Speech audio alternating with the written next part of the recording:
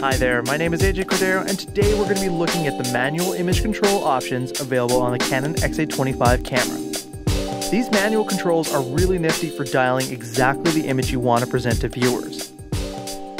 I have a previous video on how to set up the Canon XA25, which provides the foundation for all this new information. So if you haven't already done so, head over to the link in the description below and watch that video first. If you find this information helpful, I'd really appreciate it if you could subscribe to the channel and like this video. It doesn't cost you anything, but it helps me to grow the channel, so thanks in advance. These options are meant for people who have a solid foundation in photography and videography skills. If you don't know what you're doing, do not try to figure it out on a shoot. It's unprofessional to waste people's time, and it'll most likely ruin your footage, and you may not even be able to fix it. So again, if you're not fully solid on your photography and videography skills, and words like exposure, aperture, shutter speed, and ISO are seeming like a different language, it's probably a safe bet to stick to what you know until you develop the photographic understanding that allows you to use these controls. Warnings aside, let's jump right into it. Let's start with the exposure. So you've set up the camera the way I taught you in the first video. Go ahead and turn on the camera by pushing the toggle button on the left side of the camera forward to camera. The first thing we're going to do is manually adjust the exposure tap the Func button on the top left side of the screen. Next, select Rec Programs, short for Recording Programs. In here, usually I recommend selecting P for Programmed Auto Exposure.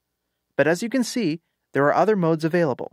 If you select TV, you'll then be able to move the camera from a programmed auto exposure to a shutter priority auto exposure. That means that you'll be in charge of setting the shutter speed, and the camera will figure out and set the aperture. If we flip over to AV, that allows you to set the aperture, with the camera automatically setting the shutter speed. And finally, there is M for manual. In this mode, you can set the shutter speed, the aperture, and even play with the gain of the image. Gain is very similar to ISO, but it is measured differently using decibels. Use your eyes as a guide to set the correct exposure. In addition to our eyes, we also have a great tool to help us expose correctly zebra patterns. Essentially, the camera overlays a moving zebra pattern to identify any areas in your image that may be overexposed. They almost look like ants crawling all over your screen.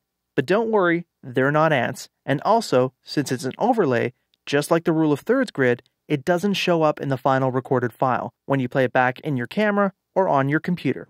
To activate this mode, go to the manual exposure setting inside of Rec Programs and select the 70 button. You'll see the marching ants around the area where there is a risk that you're losing detail in your image because it's overexposed.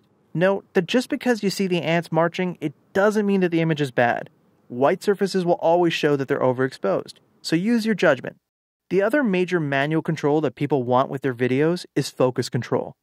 While we set up the camera to automate most of this process, some creators prefer the ability to manually dial in the focus they want. Again, like with exposure, if you don't know what you're doing, stick with the basics. First, set up and compose your video scene. Have a person, object, or subject framed in the manner you want. In this case, I have a book on a table. In regular autofocus mode, the image will try and bring the whole image into focus. But let's say I wanted to just have the book in focus with the rest of the image in the background blurred out. First, find the toggle switch on the back left side of the camera just to the right of the camera media and off mode switch. This allows you to change the zoom ring to a focus ring. Move it to focus. Next, tap the Func button at the top of the screen. Then, scroll down to Focus. In this menu, tap the MF button, short for Manual Focus. Next, tap the Peak button. This will quickly identify the areas that are in focus to the camera by highlighting them in red. Find your subject inside of the image and tap on it. The computer should figure out pretty precisely where the focus should be. You can then finesse it by rotating the focus ring at the front to dial in the precise level of focus you want to achieve. And there you go.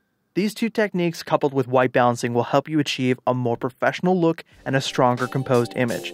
Don't let your story be skipped because it doesn't look visually interesting or doesn't sound good either. Thanks for watching, and I hope to catch you guys in the next one.